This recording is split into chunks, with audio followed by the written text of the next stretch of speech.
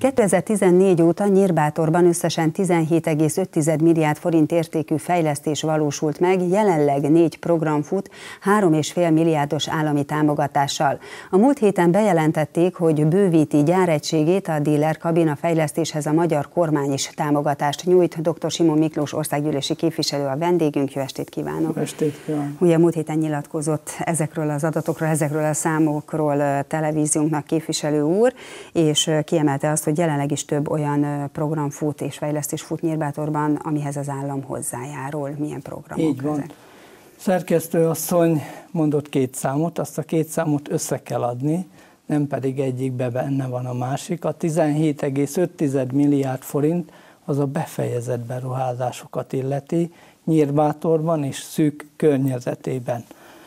A 3,5 milliárd helyett immár egy hete 4,8 milliárdot említhetünk, mert hogy a 4 milliárdos program helyett 5 milliárdos, 5 darab milliárdos program fut, hiszen a múlt pénteken Szijjártó Péter miniszter úrral és Amsringel úrral a repülőgép alkatrészgyár pénzügyi vezetőjével Budapesten bejelentettük, hogy a Dél Aircabin Hungary Kft.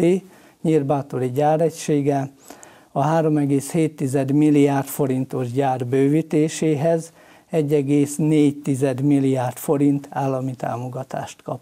Ilyen formán Nyírbátorban egyszerre 5 darab milliárdos program fut, amiből elsőként említeném tehát ezt a repülőgép alkatrészgyár fejlesztési programot, amit a fejlesztési ügynökség, a külügyminisztérium fejlesztési ügynöksége támogat. A másik fontos az a Bátor István gimnázium rekonstrukciója. Ezt a római katolikus egyház adja a pénzt hozzá, a forrást ez biztosítja. Ez abból az 102 milliárd forintból van, amit az év végén a kormány az egyházaknak oktatási nevelési célra adott. Ilyen formán a Bátor István gimnázium a kormány jóvoltából több mint egy milliárd forint támogatásba részesült, köszönet a római katolikus egyháznak, a Debrecen Nyíregyházi római katolikus egyházmegyének. Mire fordították ezt az összeget a gimnázium? A gimnáziumban elsőként egy új tornaterem építése zajlik, ebédlő, és megújul a teljes gimnázium.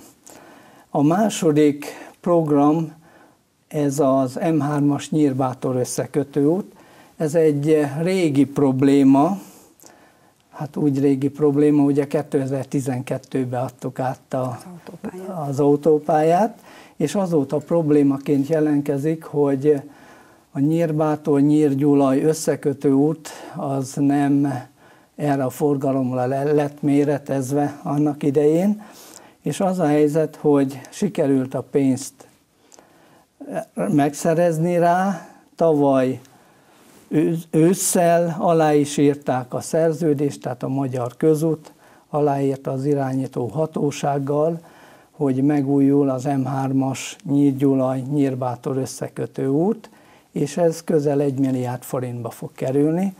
A harmadik milliárdos program az a Rosenberger nevű német cég gyáregységének az építését jelenti Nyírbátorban. Ott az állam a 3,1 milliárdos beruházáshoz 858 millió forintot fog adni. Amúgy a gyárépítés az javában folyik, a Bokréta ünnepségen önök is ott voltak és végül a repülőgép alkatrész gyár mellett említeném a másik eh, milliárdos beruházást, ez pedig nem más, mint a járási hivatal új helyre való költöztetése. A régi rendőrségi épületből szeretnénk egy új, a kor igényeinek kielégítő járási hivatalt létrehozni az állomás és a buszpályaudvar környékén. Hogyha összegezni kellene képviselő úr, akkor ebben a ciklusban mi minden újul meg, vagy milyen jellegű fejlesztések valósulnak meg Nyírbátorban, Nyírbátor és térségében, hiszen ha az utakat nézzük, akkor ki kell tekinteni városon kívüli területekre is, és milyen volumenű fejlesztések ezek, mert ez fontosnak tartotta többször is, és sajtótájékoztatón is elmondta.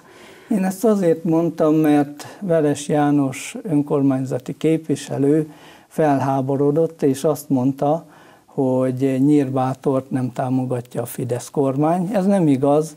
Nekem és a környékbeli polgármestereknek az a véleménye, hogy a Nemzeti Összetartozás kormánya Nyírbátort a tenyerén hordozza, hiszen ez csak az 5 milliárdos program, amiről szóltam, és a top, a területfejlesztési operatív programban pedig nem igaz az, hogy egy program érinti Nyírbátort, hanem öt program érinti.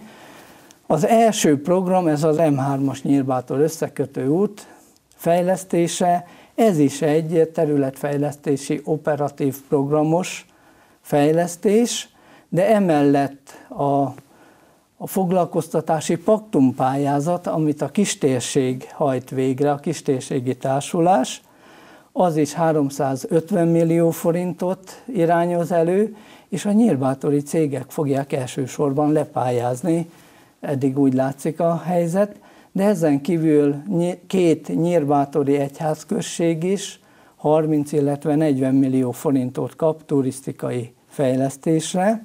A római katolikus minorita templom és rendház kerengője újul meg, pontosabban egy rendezvénytérré fog alakulni, egy 42 millió forintos támogatás révén, és a református templom környékének a fejlesztése, látogatóbarát fejlesztése fog megindulni hamarosan.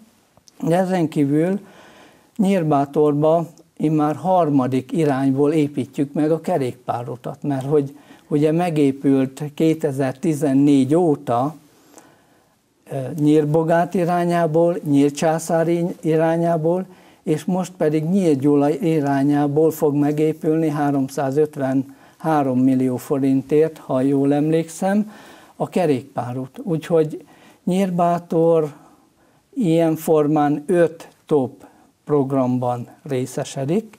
Én nagyon remélem, hogy ezek a város infrastruktúrális lehetőségeinek és közlekedés biztonságának a javítását szolgálja.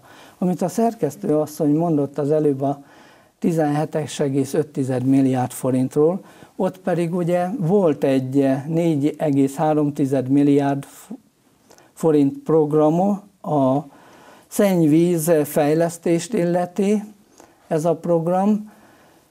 A Nyírbátorban és a környékén ennyiből megújult a szennyvízhálózat, illetve képítésre került, és itt százszázalékos állami támogatás volt ezen program esetén.